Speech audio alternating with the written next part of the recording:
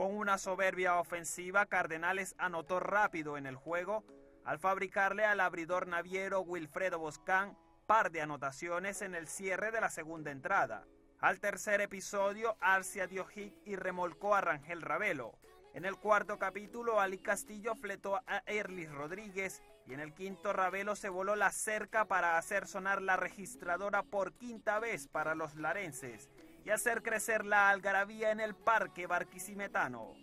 La única reacción de los visitantes que se vieron sometidos por el picheo cardenal, capitaneado por William Pérez, llegó en el séptimo inning cuando Alex Romero conectó un doble que empujó a Andrés Eloy Blanco al home, lo que evitó el blanqueo para los eléctricos.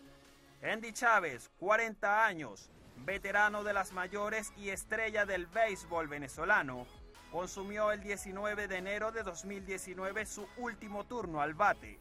La meta de cualquier deportista, retirarse con este respeto.